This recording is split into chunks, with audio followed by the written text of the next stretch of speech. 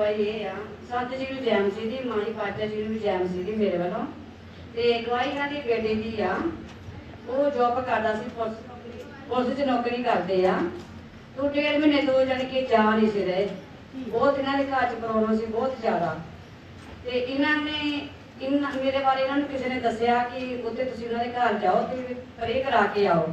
ਇਹ ਵੀ ਦੋਨੇ ਜਣੇ ਹਸਬੰਡ ਵਾਈਫ ਤੇ ਮੇਰੇ ਘਰੇ ਆਏ ਤੇ ਪਰੇ ਮੈਂ ਕੀਤੀ। ਤੇ ਇਹ ਬਹੁਤ ਰੋਂਦੇ ਸੀਗੇ। ਮੈਂ ਕਿਹਾ, ਤੁਸੀਂ ਰੋਣਾ ਤੁਹਾਡਾ ਬੇਟਾ, ਉਹ ਘਰ ਵੀ ਨਹੀਂ ਸੀ ਆਉਂਦਾ। ਤੇ ਮੈਂ ਕਿਹਾ, ਤੁਹਾਡਾ ਬੇਟਾ ਘਰ ਵੀ ਆਊਗਾ 4 ਵਜੇ ਤੱਕ ਉਹ ਘਰ ਆਊਗਾ। ਤੇ ਚਲੋ, ਜੋ ਵੀ ਪਰਮੇਸ਼ਰ ਦੇ ਦਾਸ ਸਾਨੂੰ ਹਦਾਇਤਾਂ ਦਿੰਦੇ, ਸਾਡੇ ਜੀਵਨਾਂ 'ਚ ਪੂਰੀਆਂ ਹੁੰਦੀਆਂ ਆ ਤੇ ਮੈਂ ਪ੍ਰਭੂ ਦਾ ਧੰਨਵਾਦ ਕਰਦੀ ਤੇ ਇਹਨਾਂ ਦਾ ਬੇਟਾ, ਇਹਨਾਂ ਨੂੰ ਵੀ ਮੈਂ ਕਿਹਾ, ਤੁਸੀਂ ਪਾਣੀ ਲਵੋ। ਮੈਂ ਪਾਣੀ ਕੀਤਾ ਤੇ ਪਰਮੇਸ਼ਰ ਦਾ ਲਹੂ, ਮੈਂ ਕਿਹਾ, ਤੁਸੀਂ ਘਰ 'ਚ ਵੀ ਤੁਸੀਂ ਲਿਜਾਓ, ਪੀਓ ਤੇ ਆਪ ਵੀ ਪੀਓ।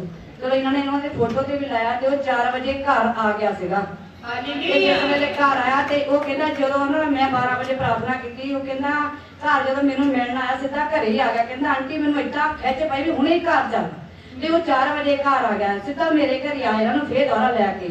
ਤੇ ਚਲੋ ਆ ਕੇ ਫੇਰ ਮੈਂ ਮਹਾਸ਼ੇਦ ਰੀਜ ਕੀਤਾ।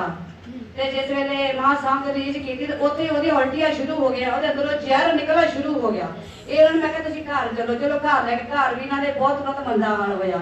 ਤੇ ਹੁਣ ਉਹ ਜਿਹੜਾ ਇਹਨਾਂ ਦਾ ਬੇਟਾ ਆ ਉਹ ਡਿਊਟੀ ਤੇ ਜਾ ਚੁੱਕਾ ਆ ਡਿਊਟੀ ਤੇ ਚੜ੍ਹ ਕੇ ਜਿਹੜੇ ਕਿ ਡਿਊਟੀ ਤੇ ਰੱਖਦੇ ਨਹੀਂ ਸੀਗੇ।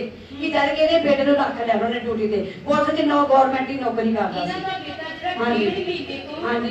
ਜਦੋਂ ਬ੍ਰਦਰ ਪੁਲਿਸ ਦੇ ਵਿੱਚ ਆ ਉਹ ਆਪਣੇ ਡਿਊਟੀ ਤੇ ਜਾ ਨਹੀਂ ਰਿਹਾ ਸੀ ਮਨ ਨਹੀਂ ਸੀ ਕਰਦਾ ਕਿ ਮੈਂ ਡਿਊਟੀ ਹਾਂਜੀ ਹਾਂਜੀ ਹਾਂਜੀ ਤੇ ਮਹਿਕਮੇ ਵੱਲੋਂ ਵੀ ਕੋਈ ਦਿੱਕਤ ਆਉਂਦੀ ਸੀ ਕਿ ਮੈਂ। ਡਿਊਟੀ ਤੇ ਨਹੀਂ ਆ ਰਿਹਾ ਜਾਂ ਕਿੱਦਾਂ ਵੀ ਹਾਂਜੀ ਹਾਂਜੀ ਤੇ ਉਹਨਾਂ ਕਰਕੇ ਜਦੋਂ ਤੁਸੀਂ ਵਾਕਈ ਪਰੇਸ਼ਾਨ ਸੀਗੇ ਹਾਂਜੀ। ਅਸੀਂ ਜਦੋਂ ਤੁਸੀਂ ਅਨਾਇੰਟਿਡ ਆਇਲ ਜਿਹੜਾ ਉਹਨਾਂ ਨੂੰ ਦਿੱਤਾ ਆ ਹਾਂਜੀ ਤੇ ਔਰ ਜਿਹੜਾ ਪ੍ਰਾਰਥਨਾ ਕਰਵਾਈ ਆ ਖੁਦਾਏ ਦਾਸ ਨੇ ਪਰ ਤੁਸੀਂ ਵੀ ਕੀਤੀ ਆ ਹਾਂਜੀ, ਹਾਂਜੀ। ਔਰ ਪਰਮੇਸ਼ਰ ਜੀ ਉਸ ਪ੍ਰਾਰਥਨਾ ਨੂੰ ਸੁਣਿਆ ਆ। ਤੇ ਉਹ ਬ੍ਰਦਰ ਜਿਹੜੇ ਇਹਨਾਂ ਦਾ ਬੇਟਾ ਜਿਹੜਾ ਆ ਹਾਂਜੀ। ਵਾਪਸ ਘਰ ਵੀ ਆ ਗਿਆ ਹਾਂਜੀ ਔਰ ਉਸ ਤੋਂ ਬਾਅਦ ਵਿੱਚ ਉਹਨੂੰ ਉਲਟੀਆਂ ਲੱਗੀਆਂ ਹਾਂਜੀ ਤੁਹਾਨੂੰ ਦੱਸਿਆ ਕਿ ਮਹਾਭਿਸ਼ੇਕ ਦਾ ਖੁਦਾਏ ਦਾਸ ਦੱਸਦੇ ਨੇ ਕਿ। ਮਹਾਭਿਸ਼ੇਕ ਦਾ ਨਾਲ ਉਲਟੀਆਂ ਲੱਗਣੀਆਂ ਔਰ ਜਿੱਤੇ ਉਲਟੀਆਂ ਲੱਗੀਆਂ ਹਾਂਜੀ। ਉਹ ਸ਼ੈਤਾਨ ਦਾ ਗੰਦਾ ਜ਼ਹਿਰ ਜਿਹੜਾ ਬਾਹਰ ਗਿਆ ਹਾਂਜੀ, ਹਾਂਜੀ। ਔਰ ਉਹ ਬੇਟਾ ਬਿਲਕੁਲ ਆਜ਼ਾਦ ਆ ਬਹੁਤ ਮੇਰੇ ਕੋਲੋਂ ਯਾਦ ਆ ਹੁਣ ਉਹ ਬ੍ਰਦਰ ਆਪਣੀ ਡਿਊਟੀ ਤੇ ਆ ਟੁੱਟ ਗਈ ਆ ਹਾਂਜੀ। ਹਾਲੇਲੂਇਆ। ਬਹੁਤ ਵਧੀਆ।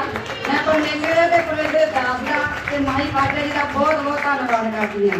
ਸਾਰਿਆਂ ਨੂੰ ਜੈ ਮਸੀਹ ਦੀ ਤਾਲੀਆਂ ਦੀ ਆਵਾਜ਼ ਘੱਟ ਹੈ ਕਿ ਤੁਸੀਂ ਪਰਮੇਸ਼ਰ ਦੀ ਮਹਿਮਾ ਕਰਦੇ ਹੋ।